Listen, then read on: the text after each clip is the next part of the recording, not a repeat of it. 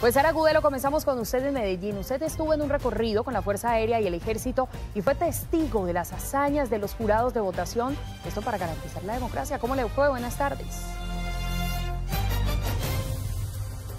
Rosy, televidentes, buenas tardes. Pues mire, me fue muy bien, pero como ustedes exactamente lo estaban explicando, no es una tarea fácil. No es fácil poder llegar a estas regiones tan apartadas de Antioquia justamente para garantizar la democracia.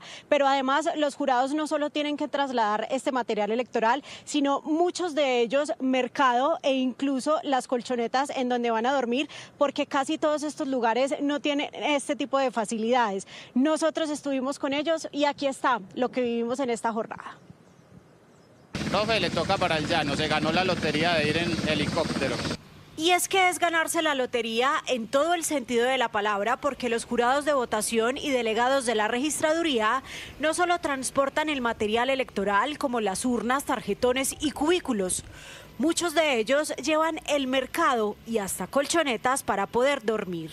La oportunidad que la registraduría brindan estos medios para que los campesinos de la zona rural del municipio de Yarumal, como es el corregimiento de La Loma, Ochalí y El Llano, puedan acceder a ejercer su derecho al voto.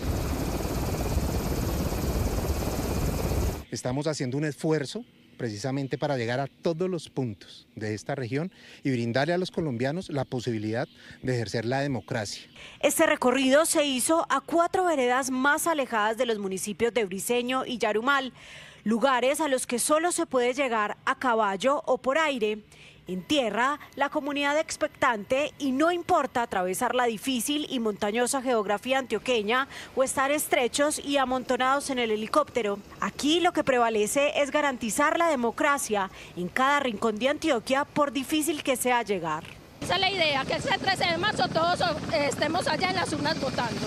En Antioquia se instalarán 1.160 puestos de votación y 11.500 soldados custodiarán la jornada electoral. Nada fácil esta labor y ahí quedó comprobada y también exaltada lo que hacen los jurados y también la Fuerza Aérea. Mire, Antioquia está lista para esta jornada de elecciones que se realizará mañana en todo el país. Son en total 1.160 mesas y en Medellín 223 puestos de votación. Cuatro mil hombres además custodiarán todos estos puestos de votación. Aquí en Antioquia o específicamente en Medellín, recordemos que el metro funcionará de manera gratuita las 5 de la mañana y hasta las 5 de la tarde. No solo el metro, también el metro cable, el tranvía y el metro plus. Así que aprovechar esta jornada mañana para ir a votar. Tenemos cerca de 3.900 policías únicamente en la capital para cubrir el proceso electoral y para cubrir la seguridad ciudadana. Vamos a estar atentos con, nuestros, con nuestro modelo nacional de vigilancia comunitaria por cuadrantes.